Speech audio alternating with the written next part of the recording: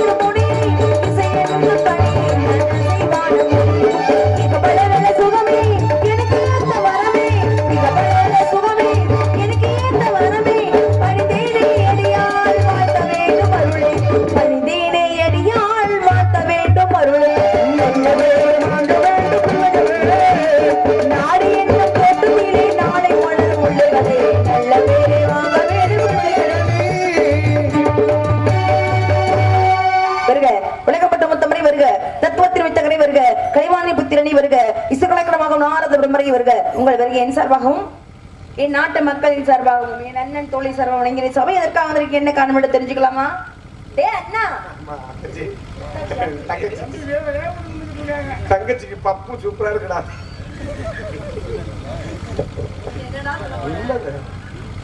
Sorry sir. நீ முறைக்கிறத பார்த்தாது கொல்ல போற மாதிரி எனக்கு. உங்கள் இருவருக்கு என்ன வர வேண்டும்? என்னை ஆளை விட்டா போதும். சென்று. உனக்கு என்ன வர வேண்டும். சுவாமி நன்றாக எனக்கு ஒரு ஆள் தேவை. ராத்திரி பத்து மணிக்கு ஆரம்பித்தாள். அவர் என்ன மாமா? உனக்கு. அவர் மகா பத்து மணிக்கு ஆரம்பிக்க வேண்டும். விடிய காலை ஆறு மணிக்கு முடிக்க வேண்டும். அந்த குதிரை வேண்டாம் இறந்து விடும் சுவாமி. இறந்து போயிருவா தங்களால் முடியுமா? சுவாமி இங்க என்னை பார்த்து பேசுங்கள். என்ன வர வேண்டும்? அதே வரம் தான் வேண்டும். அதே வரவன என்ன செய்யணுங்கிற? அது பத்து மணிக்கு ஆரம்பிச்சு ஆறு மணி வரைக்கும். சுவாமி நம்ம கலை தொழிலை நான் கேட்கிறேன் நீங்க தவறாக எண்ணுகிறீர்கள். உங்களால் முடியாது. நடந்து கொண்டிருக்கின்றது. எப்போதும் நல்லபடியா நடக்கும்.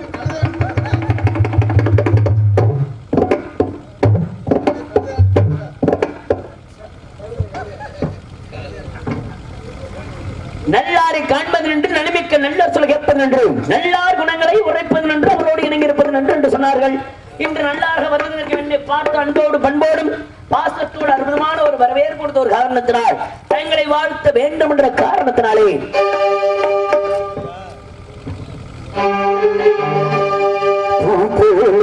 உன் புன்னகையில் உன் உலகினை கண்டேனமா?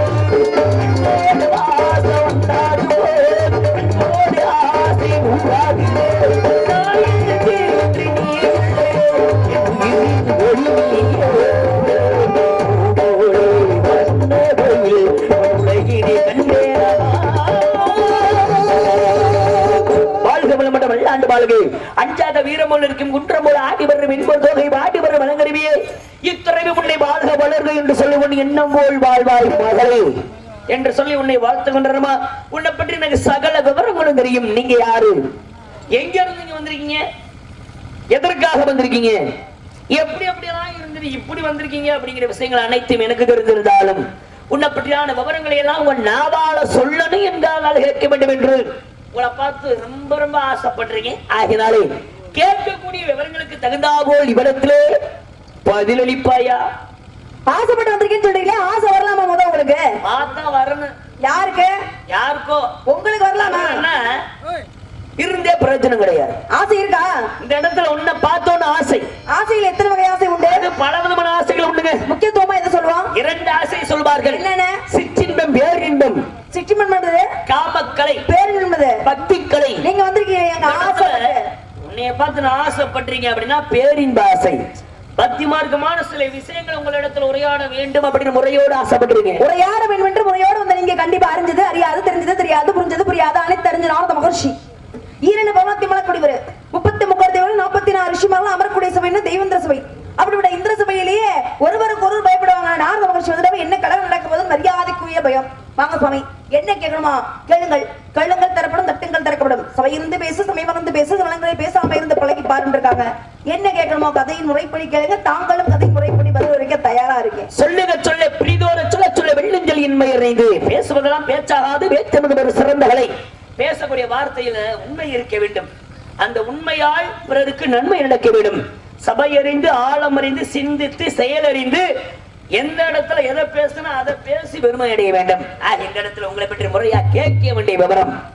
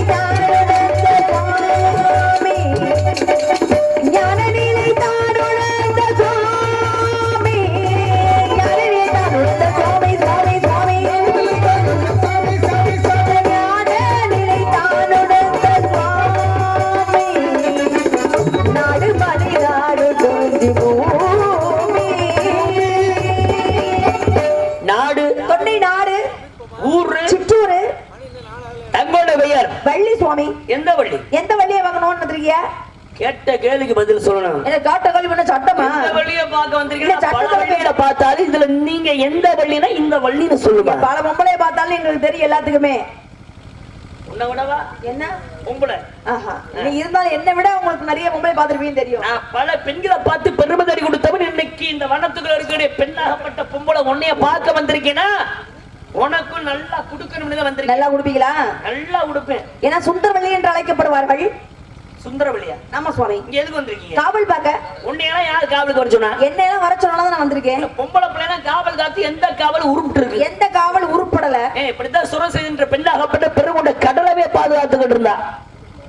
அவ காத்துக்கின்ற காவலை மீறி ஆஞ்சநேய பெருமனாகப்பட்டவன் அந்த கடலை தாண்டி எதை தாண்டி? கடலை. கடலை தாண்டி இலங்கையை சென்றடைந்தான். இலங்கை என்று சொல்லக்கூடிய அந்த நகரத்தை இலங்கை நினைவு என்று சொல்லக்கூடியவள் காத்துக்கிட்டு இருந்தான் பெருங்குண்ட அறைக்கு அப்புறம் இந்த லங்கினி என்ற பெண்மணியை தாண்டி எதை தாண்டி? தாண்டி. லங்கினி என்ற பெண்மணியை தாண்டி இல்ல லங்கினி காத்துக்கிட்டு இருந்த அந்த இலங்கையை தாண்டி கோட்டையை தாண்டி சீதையை கண்டான் ஆஞ்சநேய பெருமான். அப்போ பொம்பளை பிள்ளைனா இங்கெல்லாம் பெருங்கிற ராட்சசி அலக்கியெல்லாம் இருந்து காவலே காக்க முடியல. நீ சாதாரண பிள்ளை. நாலு மிருகங்கள்லாம் இருக்கக்கூடிய அந்த வனத்துக்கு வந்துக்கிட்டு நானும் காக்க வந்திருக்கிறேன் காவலுக்குன்னா சரி. இது நிவர்த்தி அடைய முடியுமா? ஏன்னா நீங்க சொன்ன பொம்பளைங்களா அரசு கொண்ட அரக்கு குளத்துல சேர்ந்த பிள்ளைங்க. லங்கடி ஆகப்பட்டவனும் அரக்கி. சுரசி ஆகப்பட்டவனும் அரக்கி. ஆனா மாடின பெண்ணு என்னையாட்டம் ஒரு பெண்ணுகிட்ட காவல் கொடுத்தாங்களா? கொடுத்திருந்தாங்கன்னா உருப்படியலன்னு சொல்ல பரவாயில்ல. நான் தன் நம்பிக்கையோட வந்திருக்கேன் சாமி. ஒவ்வொரு மனிதன் வாழ்க்கையிலயும் முக்கியத்துவம் என்ன தெரியுமா? தன் நம்பிக்கை. தன் நம்பிக்கையோட வாழ்ந்தா கண்டிப்பா காவலை பார்த்துலாம் அந்த நம்பிக்கையோட இந்த மாநில பிரவி நான் வந்திருக்கேன். கண்டிப்பா காவலை பார்க்க முடியும் நம்பிக்கையோட. நான் சொன்ன அரக்கியெல்லாம் பெண்ணார்களுடைய அரக்கிகள் வந்து எந்த ஒரு உருவமும் எடுக்கக்கூடியவர்கள். உங்களை மாதிரி அழகா கூட அரக்கி எடுத்து வரலாம். புரியுதுங்களா? அதே மாதிரி ஒரு பண்டிகாவும் மாறலாம். ஒரு எருமையா மாறலாம். நல்லதுக்குல ராட்சசிய சொல்றேனமா ராட்சசி என்று சொல்ற பெண்கள் வந்து பல உருவம் எடுக்கக்கூடியவர்கள். அதே மாதிரி விசுவர் ரூபம் எடுக்கக்கூடியவர்கள். அணுவலுவமாக பெரிய அளவாகுவாங்க அப்பேற்பட்ட பெண்களாலே காக்க முடியலங்க. நீங்க சாதாரண மண்ணு உங்களால காக்க முடியுமான்னு கேட்டேன். முடியும் தான் ஒரு விஷயம். ரொம்ப நம்பிக்கையோட வந்திருக்கீங்க. ஏன்னா மனுஷன் வாழ்க்கையில நம்பிக்கை வேண்டும். எந்த நடந்தாலும் எல்லாமே நம்பிக்கையில தான் வாழ்ந்து கொண்டிருக்கும். அப்படி நம்பிக்கையோட நீங்க காவலுக்கு வந்திருக்கீங்க. கண்டிப்பா சரி உங்களுக்கு முன்னாடி வேற யாரு இங்க வந்திருக்கா? இந்த இடத்துக்கு வரல. வேற இடத்துக்கு வந்திருக்காங்க வேற இடத்துக்கு யார் போனா? முல்லை நிலத்துக்கு செஞ்சிருச்சி என்று பெண்ணாகப்பட்டவள் காவலுக்கு வந்தாங்க. செஞ்சு லட்சுமி என்ற பெண்ணாகப்பட்டவள் காவலுக்கு போய் என்ன பெருமை அடைந்தாள்? எவ்வளவு பெரிய பெருமை? தெய்வத்தையே கல்யாணம் பண்ணிக்கிட்டாங்க இல்லையா? அந்த குலக்கடவுள் யார் அப்படின்னா அந்த நிலத்துக்கு குடக்கடவுள் யாருன்னா நரசிங்க பெருமான். அப்படிப்பட்ட நரசிங்க பெருமானை காவலுக்கு எடுத்துட்டாங்க இல்லையா? கல்யாணம் பண்ணிக்கிட்டாங்க. அப்ப முல்லை நிலத்து காவலுக்கு சென்ற அந்த பெண்மணி அந்த முல்லை நிலத்துக்குரிய கடவுளாகப்பட்ட பெருமாளை திருமாலை நரசிங்க பெருமாளை. கல்யாணம் பண்ணிக்கிட்டாங்க. ஆமா சுவாமி. இப்ப இந்த நிலத்துக்குரிய கடவுள் யாரு? முருகப்பெருமான். முருகன். நீங்களும் காவலுக்கு தான் வந்திருக்கீங்க. அந்த பெண்மணி அந்த நிலத்துக்குரிய கடவுளை கல்யாணம் பண்ணிட்டு போன மாதிரி. சரி. நீங்க இந்த குருந்தி நிலத்துக்குரிய கடவுள் கந்தன் முருகன் படையப்பாவை கல்யாணம் பண்ணிட்டு போகணும் சாமி சாமி கோச்சுக்காதீங்க நீங்க எதை வேணாலும் சொல்லாத படையப்பான்ற பேரை மட்டும் சொல்லாதீங்க. ஏன்? பத்திக்கிட்டு எரியுதோ பத்து கிட்ட எல்லாம் எரியும் அது எப்பவுமே அவரை கண்டாவே ரொம்ப பிடிக்கக்கூடிய தன்மை. அந்த படையப்பாவை கண்டா ரொம்ப பிடிக்கும் சாமி. தெரியும். ஏன்னா அப்படிப்பட்ட மனசுக்குள்ள தெய்வமா நினைச்சுக்கிட்டு இருக்கேன். ஆனா அவரை போய் நீங்க கட்டிக்கிட்டு மனசுக்குள்ள பிடிக்கும். நான் கூட அவர் பிடிச்சிருக்கிறத நீங்க எதுவும் பிடிக்க இல்ல அவர் பிடிச்சிருந்தது நான் பிடிச்சா அப்புறம் அவருக்கு என்ன வேலை? அவர் பிடிச்சிருக்க கிடக்குன்னு நான் விட்டு வச்சிருக்கேன். இல்ல அவர் எதுக்காக வச்சிருக்காரு பிடிச்சிட்டு அவரோட வேலை அவர் பிடிச்சிருக்காரு உங்க வீர கூட குடும்பம்னு தான் பாத்துக்கிட்டு இருக்காரு. கொடுத்துட்டா மட்டும் குடுக்கட்டும். அப்புறம் பாருங்க எப்படி வச்சிருக்கேன்னு கேட்ட கேள்வி பதில சொல்லுங்க. சரி சரி. அந்த பெருமாள் கல்யாணம் பண்ணிட்டு போன மாதிரி நீங்க கல்யாணம் பண்ண ஆசை அந்த எண்ணம் வரல சாமி தெய்வத்தோட எப்பவுமே தெய்வ பக்தி கடமாகவே பக்தியோடயே இருக்க வேண்டும். பக்தியானா நீ என்ன விதைச்சிருக்கீங்க திணை விதைச்சிருக்கோம் என்ன திணை? கருந்தனை சிந்தனை யாருக்கு எந்த திணை? கருத்தனை எங்களுக்கு சிந்தனை முருகப்பெருமானுக்கு. ஏன் அவருக்கு சிந்தனையை படிக்கணும். ஏன்னா ஒவ்வொரு தன்மை இருக்கு சுவாமி. என்ன தன்மை? இப்ப கருந்தனோட தன்மை என்ன? செந்தனோட தன்மை என்ன அப்படின்னா கருந்தனோட தன்மை வந்து உஷ்டத்தை கொடுக்கக்கூடிய தன்மை. ஆனா செந்தனோட தன்மை என்ன அப்படின்னா உஷ்டத்தை தவிர்க்கக்கூடிய தன்மை. என்ன காரணம் அப்படின்னா நாங்க எப்பவும் மலை மலை சார்ந்த பகுதியில எப்பயுமே குளிர்ச்சியான இடத்துலவே குழுகுழுப்பாவே இருப்போம். எப்படி? குழு குழு குழுன்னு இருப்போம். ஆமா. உங்களை கேட்டாங்களா? வாங்க. அப்ப குழு குழுப்பாவே இருக்கனால என்ன ஆகும்? ஒரு மனிதனுக்காகப்பட்டவனுக்கு சரியான உடம்புல சூடுன்ற தன்மை இருக்கணும் குளிர்ச்சி என்ற தன்மை இருக்கணும். அப்ப எங்களுக்கு எப்பவுமே குளிர்ச்சியாவே இருக்கா? அப்ப சூட்டை ஏத்துறதுக்காக இந்த கருதனையை சாப்பிட்டு உடம்ப சூட்டை ஏத்திக்கிறோம். ஆனா உங்களுக்கு- வந்து சூடு இல்லைன்னா சூட ஏத்தணும். போதும் போதும் நீங்க ஏத்திக்கிறாதீங்க உங்க வேலை நம்ம அதை பார்த்து நீங்க தான் சொல்லிக்கிட்டு அதைத்தான் சொல்றேன். நானா நம்ம அப்படி பேசிக்கிட்டு இருக்கட்டும். செந்தன தன்மை என்ன அப்படின்னா குளிர்ச்சியை கொடுக்கக்கூடிய தன்மை. எப்பயும் முருகப்பெருமான் சூரவதனை உதவ பண்ணாங்கள எப்பயும் ஆக்ரோஷத்துல இருக்கார். கோபத்தோட. கோபத்தோட. ரெண்டாவது நெற்றிக்கல்ல தீப்பொறியாக பிறந்தார். அதுவும் கோபத்தோட அங்கேயும் ஆக்ரோஷத்தோட இருக்கார். அவர் குளிர்ச்சியை தன்மைப்படுத்துறதுக்காக நாங்க செந்தனை முருகப்பெருமானுக்கு கொடுக்கறோம். அதாவது படைய ரொம்ப சூடா இருக்காரு படைய சூட்ட தணிக்கலாம்னு வந்திருக்கீங்க எப்படியே சொல்லிட்டு போங்க ஊர்ல பொங்கல் கிடக்கு பொங்க வச்சு பொங்கட்டும். பொங்கல் வைப்பது என்றால் அற்புதமான விழா நடத்திக்கிட்டு இருக்காங்க. சிவன்ராத்திரி விழா நடத்துறாங்க. குலை தெய்வத்துக்கு சிறப்பான முறையிலே பொங்கல் வச்சுதான் வழிபடணும் அதனாலதான் சொல்றேன் பொங்கல் போட்டுன்னு பொங்கல் நீங்க வைக்கணும் நாங்க வைக்கிற பொங்கல். நீங்க பொ- பொங்க நீங்க நல்லா கிண்டி பொங்க வைப்பீங்கன்னு தெரியுது. நல்ல நீங்க மட்டும் வந்து பாருங்க? இல்ல அங்க பொங்க வைக்கிற இடத்துல வந்து பாருங்க. நீ கிண்டுறதா எப்படி உள்ள நான் தள்ளுறேன்? எப்படி வெளிய எடுக்கிறேன்னு பாருங்க. நல்லா அதாவது உன் குலக்கடவுளுக்கு நல்லா உங்களை கிண்டி வச்சு நல்லா படையில போடுங்க. அதெல்லாம் சரி. உண்மை. கையில என்ன வச்சிருக்கீங்க? கவன். இதை வச்சு என்ன பண்றீங்க? பறவை விரட்டுற எப்படி? ஆடோட சோயின்ற நாலு பக்கம் விரட்டுறேன் ஆளோட சோயில வாயில சொல்லும் போது அப்புறம் கையில எதுக்கு இது? ஏன்? கவன் இல்லாம எந்த பறவை விரட்ட முடியாது சாமி? இதுல என்ன சொல்லுவாங்க? எல்லா பேரும் கல்ல வச்சு விரட்டுறேன்னு சொல்லி. அது தப்பான விஷயம். இதுல தானியங்களை வைத்து பறவைக்கு நாலு பக்கம் விரட்டும் போது தானியம் வாங்கப்பட்டது. எங்க போய் சிதறும்? நீங்க தானியம்னா உதிரி தானியமாவ? அது எப்படி? நீங்க எப்படி எப்படி சொல்றீங்க? தானியம்னா எப்படி? உதிரியா என்ன தானியம் இருக்கு? உதிரியாக தான் வைக்க முடியும். என்ன தானியம் இங்க இருக்கு? திணை சொல்றேன். அப்ப தின தானியம் தான் ஆமா சுவாமி எப்படி வைப்பீங்க தினைய திணைய உள்ள வச்சு தினைய உள்ள வச்சா அது உதிர்ந்துறாது அங்கேயே. நல்ல இருக்கை கட்டிடலாம்ல சாமி. ஜனத்தை போட்டு கட்டுறது. கட்டும் போது அப்படிதான் சுத்தம் போது மட்டும் நாலு பக்கம் சுத்தரும் தெரியும். என் வாயால சொல்லணும்னு நீங்க பாக்குறீங்க. சரி சொல்லுங்க. தேனு திணை மாவு உருட்டி. அதுல சின்ன சின்னதா அது எனக்கு தெரியும். நீங்க உருட்டுற நினைப்புலயே இருக்கீங்க. ஆனா நீங்க அந்த பனையறத மறந்துட்டீங்க சாமி பிழைய மட்டும் நீங்க மாவை புனைந்து அதை வைத்துதான் பறவைகளை விரட்டுவது. புரியுங்களா கண்டிப்பா. அப்படி விரட்டும் போது என்ன ஆகுது? தானியங்கள் நான்கு பக்கமும் சிதறும். சிதறக்கூடிய தானியங்களை வரக்கூடிய பறவைகளை சாப்பிட்டு பசியை ஆட விட்டு அதுக்கப்புறம் பிறகு விரட்டுவோம் சுவாமி நல்லா வரட்டுறீங்க. எப்பவுமே பசியோட விரட்டக்கூடாது. பாவம் அது. நல்ல பாலும் தேய்மாவும் கொடுத்து அந்த பறவைக்கு நீங்க வந்து கந்தனுக்காக முருகனுக்காக படையல் போடுவதற்காக இந்த வனத்துக்கு வந்திருக்கீங்க. கண்டிப்பா சிறப்பான முறையில் வந்திருக்கீங்க. உங்க அப்பா பேர் என்ன? அப்பா பேர் நம்பிராஜன். நம்பி ராஜனா? எந்த நாட்டுக்கு ராஜன்? எங்க காக்கிக்கும் தன் குஞ்சு பொன் குஞ்சு அல்லவா? ஆக்கைக்கும் தன் குஞ்சு பொன் குஞ்சுமா. குஞ்சு. எந்த குஞ்சு சொல்றீங்க? நான் கோழி குஞ்சு சொல்லிட்டு இருக்கேன். காக்கிக்கும் தன் நான். உங்க அப்பா வந்து நம்பி ராஜனா எந்த நாட்டுக்கு ராஜன் தான் கேட்டேன். ஏழு குடிசை சாமி ஒரு நாட்டு அரசு. அப்ப நம்பி தலைவன் சொல்லுவ பிறகு நான் ராஜங்கிறீங்க. என்ன சொல்லிட்டு சொல்லி பெருமைப்படுத்துகிறது ஆமா நாட்டுக்கு ராஜன் அப்படின்னு. எங்க அப்பா இருக்கிறது ஏழு குடிசை. என்ன அப்படி பேசுறீங்க? ஒவ்வொருத்தரும் ஒரு குடிசை இல்லாம வாடகை வீட்டுல இருக்காங்க. நீங்க ஏழு குடிசை வச்சு நான் சொல்ல மாட்டேன்? நான் பாண்டிய நாடு ஒரு பாண்டிய குடிசை நாலு குடிசை எதுக்கு? நீங்க வந்து தூக்கறதுக்கா எதுக்கு? இடம் வேணுமா? இல்லம்மா. கலைஞர்லாம் வந்து தங்குவாரு அது சொல்ல வந்தேன் பெரிய மண்டபமே கட்டி போட்டிருக்காங்களே அது சிறப்பான முறையிலே இந்த இடத்துல கந்தனுக்காக முருகனுக்காகத்தான் வந்திருக்கீங்க. ஆமா சுவாமி. காட்டுனா மானம் போயிடும். காட்டுல மானதான் போவோம் வேற என்ன போவோம்? காட்டாட்டி பிராணம் போகுங்க பிராணமா. பிராணம்னா என்ன சாமி? உயிர் போயிடும். அது எது ஒரு பழமொழி. இது எதுக்காக சொல்லி வச்சாங்க? இது என்ன வம்பா இருக்கு? பழமொழி என்பது பழைய காலத்து தழுவியப்பட்டு இருக்குது. பழைய கதவை திரடி. இதுவும் பழமொழினே. சரி. வர வர்ற மாமியா கழுத போல போனாலாம் இது பழமொழிதான். ஆனா மிதிச்சு அறுத்தடி போகும் காட்டாடி பிராணம் போகும்னு இது எதுல வரக்கூடிய விஷயம்? ஏ சாமி அது எதுக்கோ சொல்லிட்டு போறாங்க. ஏன் இந்த நேரத்துல? மணி நாளாக போகுது. இருங்க. எத்தனை மணி ஆனாங்க தானே எதுக்கா சொல்லிட்டு போனான்னு சொல்றதுக்கு அவங்களாக்கு மதுரையில இருந்து அழைச்சாந்து இருக்காங்க. ஆடடா. ஆறு மாசத்துக்கு முன்னாடியே அட்வான்ஸ் முதலே போடணும்னு. ஏன் என்ன பச்சை மிளகாய் பத்து ரூபாய்க்கு அரைச்சு முகத்துல தடவன மாதிரி எப்படி எரியுமே உங்களுக்கு? சந்தோஷம். ரொம்ப சந்தோஷம். யாரு முகத்துல பச்சை மிளகாய் அரைச்சு வச்சிருக்காங்க பார்த்தா தானே. எரிஞ்சதுன்னா சரிதான். ஏன்னா காட்டுல மான போச்சு காட்டாட்டி பிராணமே போச்சு. பெரிய தொல்லடா. அங்க அங்க கதையில சாமி கதையில சொல்லிட்டேன். எதா இருந்தாலும் சொல்லிட்டு சொல்லணும். என்ன வம்பா இருக்கு? எனக்கு விளக்கம் சொல்றீங்க. சொல்லிட்டு அப்புறம் சொல்லுங்க. ஓ நான் அப்படி சொல்லிட்டு சொன்னதா நல்லா இருக்குமா. நீங்க கேட்ட கேள்விக்கு நான் விளக்கத்தை சொல்ல போறேன். சொல்லுங்க. பெரிய தொல்லடா டே ஏங்க சாமி கதையில நீங்க சொல்ல போற கதையில சொல்லிட்டு இருக்கு. கவனிச்சு கேட்பீங்களா? சாமி நீங்க எனக்கு அப்பா மாதிரி உங்களை நான் எப்பவுமே தப்பான்ற விதத்துல பேச மாட்டேன். அப்பான்ற சாத்த ஒரு அடி மேலதான் வச்சிருக்கேன். காட்டுனா மான போச்சு கிராட்டாட்டி பிராணமே போகுது. பிராணம் என்பது என்ன? ஆரம்பத்துல சொன்னீங்க உயிர்.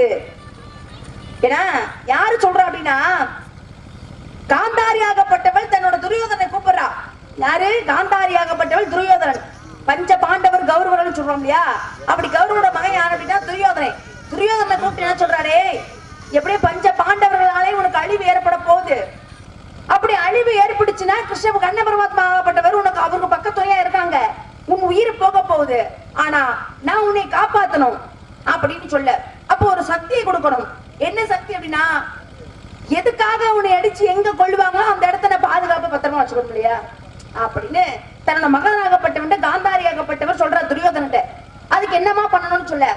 என்னைக்கு திருதராசன் தான் உன் கணவன் சொன்னாங்களோ அன்று எடுத்து கண்ணை கட்டியவள் தான் இன்று முடியும் இந்த உலகத்தை பார்க்கவில்லை.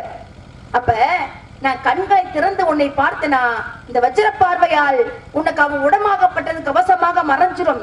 அப்ப யார் உன்னை அடித்து கொன்னாலும் எவ்வளவு பெரிய மா வீரனே அடிச்சு உன்னை கொன்னாலும் உனக்கு சாவில்லடா அப்படின்னு சொல்றான் பாக்குறான் யோசிக்கிறான். என்னடா அம்மா பிறந்த மூணு மேனியாக உடம்புல ஒட்டு துணியாம வர சொல்றாங்களே. எப்படி அம்மா முன்னாடி வர்றதுன்னு யோசிச்சான். அப்பதான் சொன்னாலாம் ஏன்னா ஒரு கல்- கல்- பெத்த மகனை மட்டும்தான் தாயாகப்பட்டவன் என்ன பண்ணுவாங்கன்னா வயசு பிள்ளையிலே எண்ணெய் தச்சு குளிக்க வைப்பாங்களாம். அப்ப என்ன ஆகுது? பெத்த மகன் தான்டா நீ. நான் உன்னை எழுத்து வளர்த்துற குழந்தை தானே. பெத்த மகன். அப்படிங்கும் போது நீ வரல ஒண்ணும் தப்பு இல்லைன்னு சொல்லு. உடனே பாக்கலாம் துரியரன் சரி வர சொல்றாளே அப்படின்னு சொல்லி அம்மா வர சொன்னாங்க. அப்ப நம்ம உடம்பு பாதுகாத்துக்கணும். ரெண்டாவது உயிர் போகாம இருக்கும் இல்லையா? அப்படின்னு சொல்லி காந்தாரியாகப்பட்டவள் அங்க நிக்கிறா. துரியோதனை எதிர்ப்பால வந்துகிட்டு இருக்கான் வந்தவன் என்ன பண்ற? உடம்புல ஒரு துணி இல்லாம பிறந்த மீனியாக இருக்க. பார்த்தான் கிருஷ்ண மாத்தா கண்ணே. ஆஹா இவனுக்கு இந்த வஜ்ர பார்வை கிடைச்சதுன்னா பஞ்ச பாண்டவர்கள் யாருமே கொல்ல முடியாதே. அப்புறம் துரியோதனை அழிக்க முடியாதுன்னு நினைச்சுக்கிட்டு என்ன பண்றான்? கண்ணனாகப்பட்டவன் திருவிளையாடல் அங்க ஒரு விளையாட்டு ஆடினார் என்ன விளையாட்டு அப்படின்னா துச்சலை மாறி. ஏன்னா அம்மா முன்னாடி உடம்ப காட்டலாம் தங்கச்சி முன்னாடி உடம்ப காட்ட முடியுமா? முடியாது. அப்ப துச்சலையாக ரூபத்தை மாத்தி அப்படியே முன்பாக நடந்து வர துரியோதனம் பார்த்தனா காந்தாரியாகப்பட்டவள் கண் கட்டை இறக்க அப்படியே ஒரு அடி ஒரு அடியா மேல பார்த்துக்கிட்டே இருக்கு வரும்போது சரியான நேரத்துல துச்சலையாகப்பட்ட மாதிரி கண்ணாகப்பட்டவர் அவதரிச்சு வர்றார். பார்த்தோன்னே ஆஹா தங்கச்சி வந்துட்டாளே அப்படின்னு பக்கத்துல ஒரு மாமரத்து இலையை எடுத்து எங்க மறைக்கணும்? அப்படின்னா துணை எடுத்துன்னு மறைச்சா. மறைச்சோன்னு என்னாச்சு? அப்பதான் பார்த்த காந்தாரி அட பாவி நான் பார்க்கும் நேரம் மறைச்சிட்டு இல்லையா? உனக்கு சாவு அங்கதான்டா. எங்க மறைச்ச? எந்த தொடையை மறைச்சு? அந்த தொடையாலே உனக்கு சாவு வரப்போதுடா நிச்சயம் அப்படின்னு சொல்லி அதனாலதான் சொன்னா அம்மா காட்டி இருந்தனா மானம்தான் போச்சு. நான் காட்டாட்டி பிராணமே போச்சா? இப்ப காட்டுனா தங்கச்சி முன்பாக மானம்தான் போகும். நான் மறைச்சதுனால என் உயிராக்கப்பட்ட பிராணமே போக போகுதா? அப்படின்னு சொன்ன பழமொழி எதுல இருந்து தழுவப்பட்டதுன்னா வியாபாரத்துக்குள்ள த கதையில இருந்து தழுவப்பட்டு இருக்கு சாமி. ஆக மகாபாரதம் நடந்த ஒரு விஷயம். ஏன்னா எந்த இலையை வைத்து மரத்தாண்ட வாழை இலை எடுத்து அப்படியே தொடைய பகுதியை அப்படியே மறைச்சாரு. ஏன்னா தாய் கிட்ட கூட காட்டிடலாம். தன்னுடன் பிறக்கப்பட்ட தங்கை இடத்துல காட்டலாமா சகோதரிகிட்ட காட்டலாமா? என்பதற்காக எடுத்து மறைச்சாரு. எல்லாமே காட்டக்கூடிய விதத்துல எல்லாம் மகாவிஷ்ணு கிருஷ்ணனாக எடுத்து வந்த அவதாரத்தில் நடத்தப்பட்ட லீலைகள் பரவாயில்ல கேட்டுங்க நல்லா பதில சொல்லிட்டீங்க. இருக்கட்டும் சாமி ஆ, வந்த விஷயத்தை சொல்லட்டுமா? வந்த விஷயத்தை அப்புறமே பேசிக்கலாம் கொஞ்ச நேரம் கழிச்சு. இன்னும் நேரம் இருக்கு. வந்த விஷயத்தை அப்புறம் பேசிக்குவோம். இப்ப எங்களுக்கு எனக்கு உங்களுக்கு பஞ்சாயத்துல ஆ பெட்டிக்காரே. ஆரம்பத்துல சுவாமி ஒரு பாட்டு பாடினாரு. என்ன பாட்டு பாடினாரு? நான் வர்றதுக்கு முன்பாக. வலி. வலி மறைச்சான் ஓரம். நீங்க சொன்னீங்க. இந்த பாட்டுல இல்லாத வரியை நீங்க பாடுறீங்களேன்னு கேட்டீங்களே இப்ப நான் கேக்குறேன். நான் சொல்றேன் நீங்க கேக்குறீங்க. அந்த வழி மறைச்சானா யாரு? யாரு யார வந்து வழி மறைச்சா தெரிஞ்சா சொல்லுங்க. தெரியலன்னா கூட்டத்துல போய் படுத்து தூங்குங்க. காலையில போகும்போது எழுப்பி விடுறேன் வண்டி வரட்டும் பாத்துக்கோங்க நீங்க. பாருங்க நல்லா. பாரு பாரு பாரு. பாரு சாமி பாரு வர நேரத்துல சில பேர் தூங்கிக்கிட்டு இருப்பாங்க நினைப்பேன். பரவாயில்ல மணி. தூங்காம முழிச்சிருந்தேன். நான் என்ன சொல்லிக்கிட்டு இருக்கேன் ரொம்ப கவனம் எங்க சாமி வர மாதிரியே இருக்கு நிலைமை. சுட்டு போட்டாலும் வராது. வழிமறிச்சான்னு ஏன் சொன்னா அது காரணம் இருக்கு. வழிமறிச்சான்ங்கிற ஊர் எங்க இருக்குன்னா பூலோகத்தில் இருக்கிற ஒவ்வொரு ஊருக்குமே ஒவ்வொரு பெருமைகள் உண்டு. அதில் நமது இந்தியாவில் வந்து ஒரு ஆன்மீகமான ஒரு பூமி. தெய்வங்களுடைய அவதாரங்கள் திருவிளையாடல் நடத்தப்பட்டதால் அந்த பூலோகத்தில் அதில் தமிழகத்தில் அதிகம் நடந்தது. அதுல ஒரு விஷயம் என்ன அப்படின்னா வழிமறிச்சான். அப்படின்னா இந்த ஊர் எங்க இருக்கு அப்படின்னா ராமநாதபுரம் மாவட்டத்துல. ராமநாதபுரம் மாவட்டத்துல வழிமறிச்சான் என்ற ஒரு கிராமம் உண்டு. ஏன் அந்த ஊருக்கு வழிமறிச்சான்னா காரணம் உண்டு. ஏன்னா அதாவது ராமர் லட்சுமணன் இருவரை விஸ்வாமத்தில் அழைச்சிட்டு போனார். தான் நடத்தக்கூடிய யாகத்தை தடுப்பதற்கு தாடுகின்ற வெண்ணாகப்பட்டவன் மாரீசன் என்ற அசுரங்களை வைத்து அங்கே அந்த யாகத்தை நடத்த விடாம கொண்டிருக்கிறார்கள். அவங்க அழிக்க முடியல.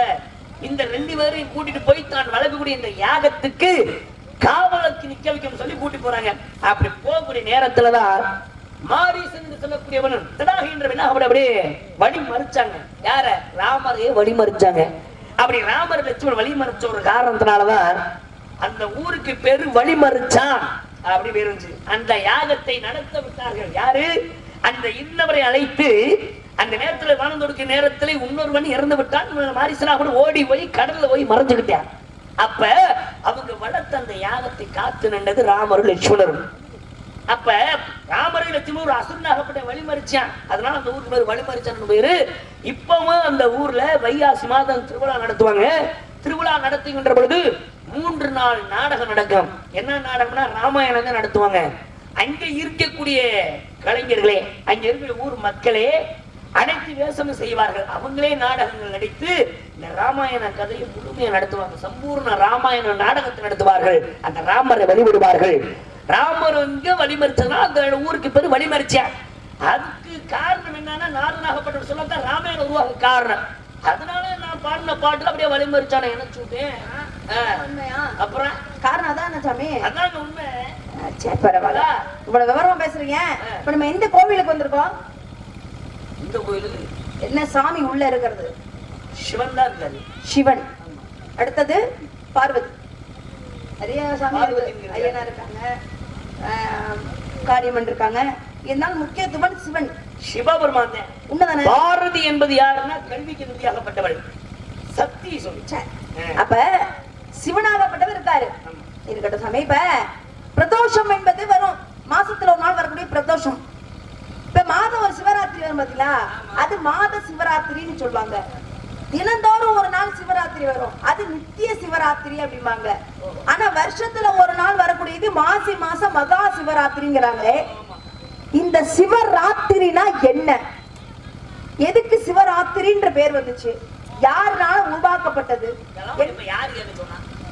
கேட்க சொன்னாங்களா? இதுதான் நீங்க சொன்னீங்க ஆரம்பத்துல இதுதான் ஆறு மாசம் முன்னாடி அட்வான்ஸ் கொடுத்து கூப்பிட்டு வந்தாங்களே அதுக்கு தான் கூப்பிட்டு வந்தாங்க. சமயம் பார்த்து கேக்குறீங்க? என்ன விழா நடத்திக்கிட்டு இருக்காங்க அதுல புடிச்சு கேக்குறது சாமி கேள்வி.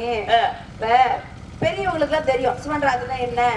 அப்படின்னா என்ன விஷயம்? அப்படின்னு எல்லாரும் தெரியும். ஆனா இப்ப இருக்க பிள்ளைங்களுக்கு எல்லாம் தெரியாது. ஏதோ திருவிழா வைக்கிறாங்களா? கொண்டாடணுமா விளையாண்டோமா ஜாலியா இருந்தோமா, அதோட முடிச்சுட்டாங்க. ஆனா அப்படி கிடையாதுயா அந்த பெண் குழந்தைங்களுக்கு எடுத்து நம்ம கூறது தான் நம்ம இங்க வந்திருக்கோம். மா சிவன் ராத்திரி என்பது அற்புதமான ஒரு விழா. தெய்வங்களை வெளிவிடக்கூடியது சிவனுக்கு உகந்த ராத்திரி சிவன் ராத்திரி. சக்திக்கு உகந்த ராத்திரி நவராத்திரி. பெருமாள் உகந்த ராத்திரி வைகுண்ட ஏகாதசி. இப்படி ஒவ்வொரு தெய்வங்களும் ஒவ்வொரு ராத்திரி உண்டு. புரியுதுங்களா? ஆக இந்த இடத்துல எதுக்காக இந்த சிவன் ராத்திரி கொண்டாடுகின்றார்கள்? அந்த சிவன் ராத்திரி என்று அவரவருடைய குல தெய்வத்தையும் வழிபடுறாங்க. அதான் முக்கியமான விஷயம். ஏன்னா இந்த சிவன் ராத்திரி உருவாக காரணமே என்ன அப்படின்னா திருப்பார்கடலை கடைந்தார்கள் தேவர்களும் அசுரர்களும். அப்படி தேவர்களும் அசுரர்களும் எதற்காக கடைந்தார் என்று சொன்னால் தேவாமிர்தம் கிடைக்கும் என்று என்பதற்காக கடைந்தார்கள். அப்படி கடைகின்ற பொழுது அங்கே வாசி என்ற பாம்பாகப்பட்ட இருக்கிற நேரத்திலே அங்க என்ன ஆனதுன்னா விஷத்தை கக்கியது. விஷத்தை கக்கின உடனே என்ன ஆச்சுன்னா அந்த ஆழகால விஷத்தை கண்ட உடனே தேவர்களும் அசுரம் அப்படியே ஓடி ஒழிகிறாங்க அந்த நேரத்தில் தேவர்களை காக்க வேண்டும் என்பதற்காக ஆளாள சுந்தரர் என்று சொல்லக்கூடியவர் என்ன பண்றாரு? அந்த விஷத்தை திரட்டி சிவபெருமான்கிட்ட கொடுக்கிறாரு. சிவபெருமான் அதை குடிக்கிறார். அப்படி விழுங்குற நேரத்திலே இந்த ஆதி விராசத்தி ஆகப்பட்டவள் அப்படியே சிவபெருமானுடைய கழுத்தை பிடிச்சு நிறுத்துறான் அதுக்கப்புறம் தான் கண்ட உருவானது.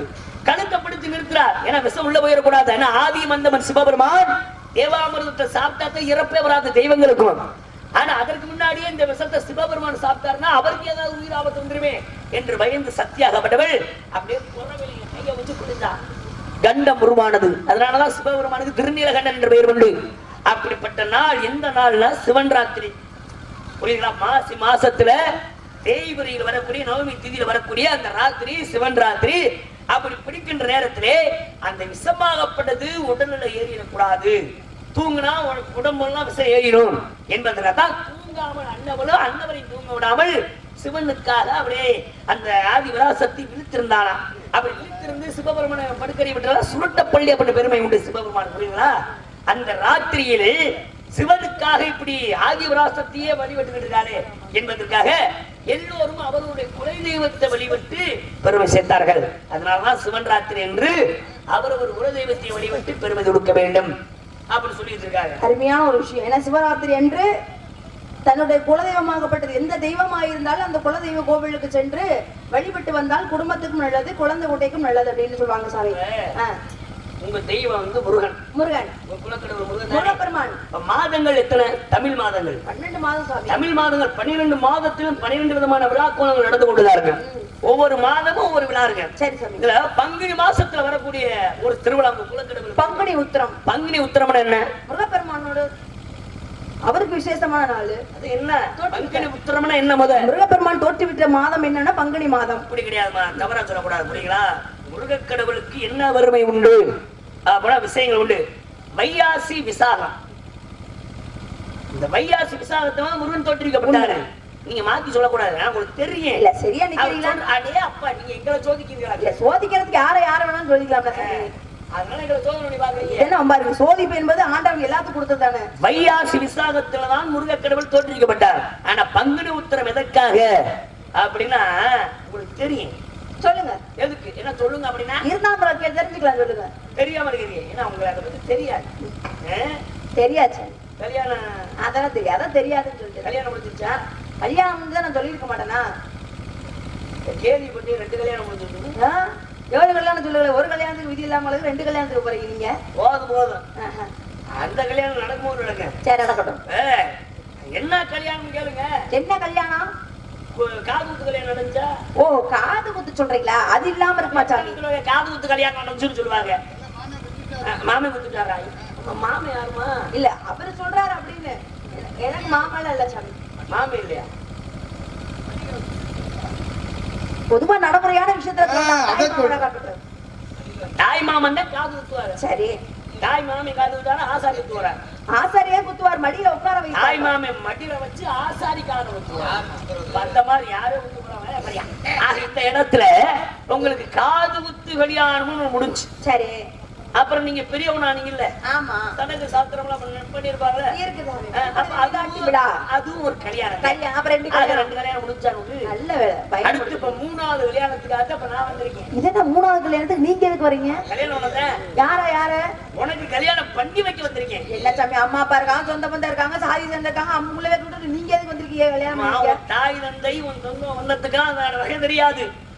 அஸ்தமா சித்துக்கள் கட்டுற சித்தப்படம் அந்த இடத்துல கல்யாணம் பண்ண வந்திருக்கேன். ஓ அதனால நான் நீங்க கேட்டதுக்கும் நான் மாத்தி சொன்னேன். ஏன்னா இந்த இடத்துல வந்து நிப்பீங்கன்னா தான் வைகாசி விசாகம் எதுக்கு வந்துச்சு பங்குனி உத்தரம் எதுக்கு வந்துச்சு கேட்டீங்க. அப்ப பங்குனி உத்தரம் எதுக்கு?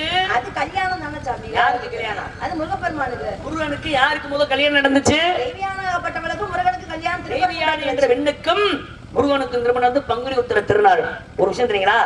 பொதுவாக தெய்வங்களுடைய திருமணம் நடந்த நாள் பூரா பங்குனி உத்திர நட்சத்திரத்துல நடந்துச்சு. சிவபிரமன் பார்வதி. சிவபிரவன் ஆதிபராசக்தி திருமணம் நடந்தது பங்குனி உத்திர நட்சத்திரம். அதே மாதிரி என் தந்தை பிரம்மாவு என் தாய் சரஸ்வதி அகப்பட்டம் நடந்த திருமணம் பங்குனி உத்தர திருநாள். என் பாட்டன் பெருமாள் மகாலட்சுமி திருமணம் நடந்து பங்குனி உத்தர திருநாள். ராமர் சீதையை திருமணம் முடித்தது பங்குனி உத்தர நாள். ஐயப்ப தோற்றுவிக்கப்பட்டது பங்குனி உத்திரம் அதே மாதிரி முருகனுக்கு தெய்வானைக்கு திருமணம் நடந்து பங்குனி உத்திரம். சரி. அதனாலதான் முருகனுக்கு பெருமை கொடுக்கும்போது அந்த பங்குனி உத்தரத்தை பெருமையாக விளைவாக கொண்டாடிக்கிட்டு இருக்காங்க. சரி சாமி. அந்த மாதிரி இந்த இடத்துல உனக்கு ஒரு உத்தரத்தை ஏற்படுத்தணும். எனக்கு என்ன உத்தரத்தை நீங்க எதுக்கு ஏற்படுத்திருக்கீங்க என்னது? எதுக்கு நீங்க எத்தனை? ஏழு வகை இருக்கு சாமி. பேதை பெருமை மங்கை மடந்தை அறிவை தெளிவை சொல்லுடைய ஏழு வகை பருவம். இந்த ஏழு வித பருவத்தில் மங்கை பருவம் மங்கை பெருமன் எத்தனை வயது? பதிமூன்று வயது. பதிமூணு வயசு. சும்மா இருக்க முடியுமா? அதுக்கு ஏங்க சும்மா பண்ண வயசுல எதை செய்யணும் அதை செஞ்சாகணும். அதுக்கு என்ன பண்ணணும்ன்றீங்க நீங்க ஒண்ணும் பண்ண வேணாம் நான் சொல்றதை மட்டும் பண்ணும் நீங்க சொல்றது நான் பண்ணுமா? ஆமா. ஏன் நான் சொல்லாத பண்ணா? எப்படி? நீங்க சொல்லாத நான் பண்ணா? நீங்க சொல்லாததை அவர் வந்து பண்ணுவாரு. நான் சொல்றது மட்டும் நீங்க பண்ணுங்க. என்ன பண்ணணும் சொல்லுங்க. பருவத்தோட இருக்கிற நீங்க. நான் பார்த்து வந்த மாப்பிளைய கல்யாணம் பண்ணுங்க மாப்பிள்ளைனா? புருஷன். புருஷனா? மணவாளன். மணவாளனா? கணவன். கணவனா? உடைய கட்டி. நல்லா செய்வாரா? கல்யாணம் எல்லாம் செய்வாரா? நான் பாத்துக்கிட்டேன் உனக்கா? அதானே. எல்லாம் சந்தேகத்திலே கேட்டா எப்படி? கட்ட பொறி கட்ட பொறி கட்டி உள்ள வைக்கத்து கட்ட. பொறி வேலை கிட்ட தானமா நீ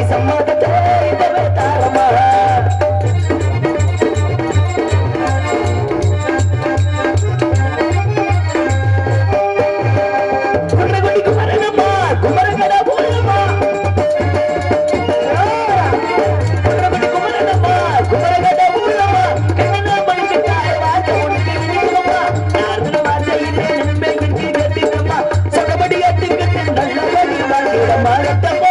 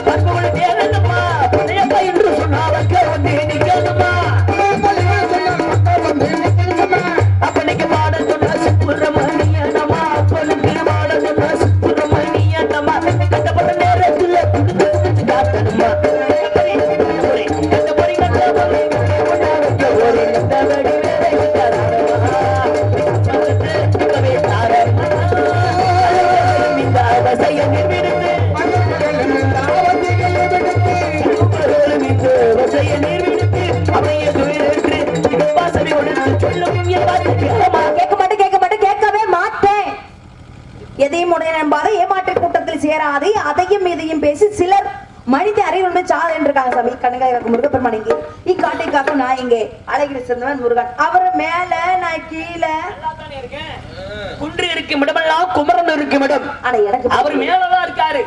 இப்ப நீ அடியில என்னை பொறுத்தவரை நான் எப்பவுமே மேலதான் இருக்கணும் அவங்க இல்லதான் இருக்கணும். வேணாந்த கூட்டமங்க. வித்தியாசமா செய்யணும்.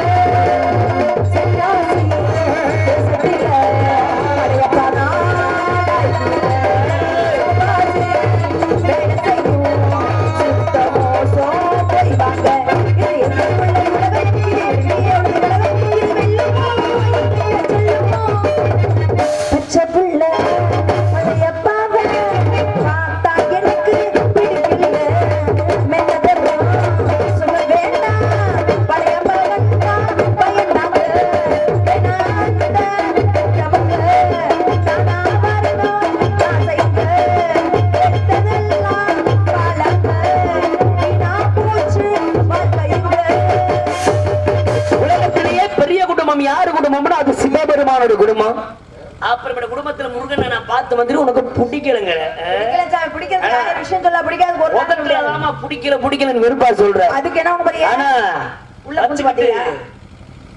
போய் சொல்லலாமா? காலப்பிரியன்.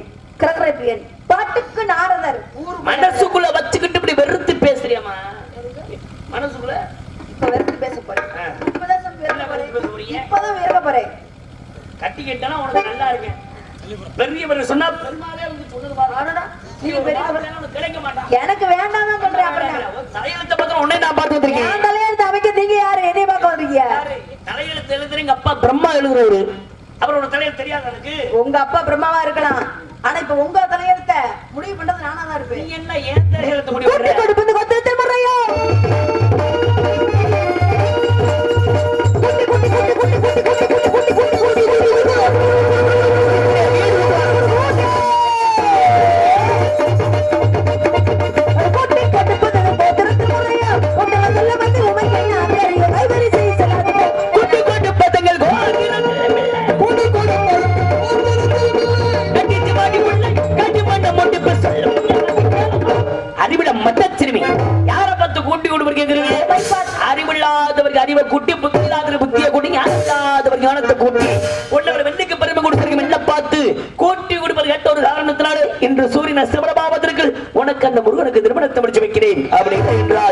இடம்பெயர் நாடுகள்ல நடந்திருக்கிற இது சத்தியம் சத்தியம் சத்தியம்.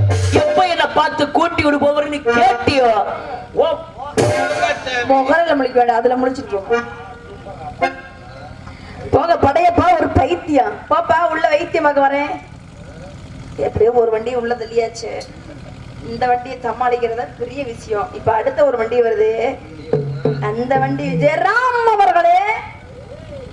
கொஞ்சம் ஆளை காணும் இருந்தாலும் பரவாயில்லப்பா